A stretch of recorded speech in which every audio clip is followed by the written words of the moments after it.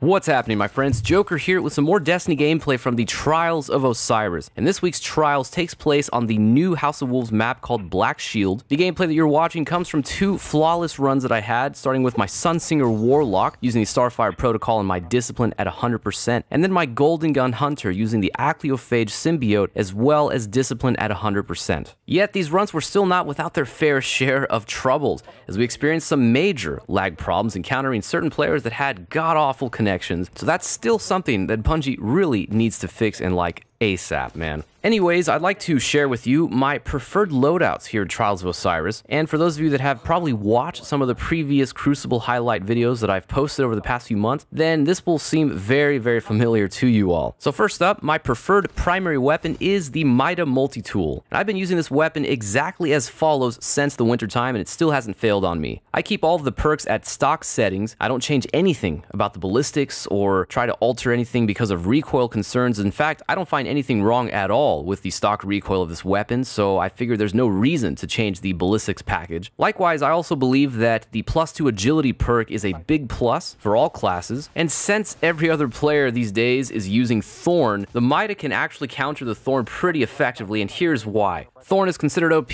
because you can successfully kill a person with a two-shot headshot. Now that becomes significantly harder to pull off if you're shooting your Thorn against an enemy that can strafe significantly well and that can actually evade your shots very quickly. Now how do you evade someone very fast? Well, you have maxed out agility. So using the Mida multi-tool with the plus 2 agility perk combined with a maxed out agility spec with whichever subclass you're using gives you a far greater chance to successfully evade the fire from a Thorn user. And just to clarify, I am not saying that the Mida multi-tool on paper statistically can outgun the Thorn. It is a statistical fact that the Thorn's time to kill is far greater than the Mida multi-tool if you had two AI enemies firing the weapons at the exact same time at one another's heads. However, since we're not fighting against some god mode AI, and most of the time you're going to encounter players that are not using aimbots, and if they are, then they're cheating and they're probably going to get banned soon anyways, you are dealing, generally speaking, with human beings that are always subject to human error. Therefore, just because a weapon has great, amazing specs on paper doesn't immediately guarantee that the user of that weapon is also going to match their skill levels to those said amazing specs. One thing to note about Mida Multi-Tool is its rather decent hipfire accuracy at close range. Now, this isn't a game changer of a mechanic that's going to be the reason you use this gun, but it is something you need to keep in mind when things get a bit rough and you're trying to evade from a close quarters enemy and you don't have enough time to switch to a shotgun or a more efficient close quarters weapon. If you combine hip firing with strafing around or blinking away from enemies, you actually do have a significant chance at winning that duel. Now let's move on to special weapons. The special weapon that has been my go-to in the past few months has actually been Two to the Morgue, which is a Dark Below DLC Crucible Vendor Shotgun. This specific Two to the Morgue that I'm using was actually a solar version that I earned as a reward when I ranked up my Crucible rank a few months back, and the perks it included were Who's Next, a kill in the final round of the magazine increases reload speed, and Shot Package. Aiming this weapon reduces the spread of its projectiles. And in terms of the other perks, I am sticking to the stock perks, so I'm sticking with Linear Compensator and Quick Draw. I haven't changed either of these perks, although I could change Quick Draw down to Snapshot, which is the next choice, but this setup has been quite nice, and I honestly haven't found the need to change it.